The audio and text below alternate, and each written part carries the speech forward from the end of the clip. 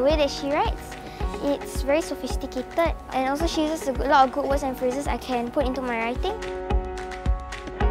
To make authors real people in the eyes of kids is vital because they're such an interactive generation.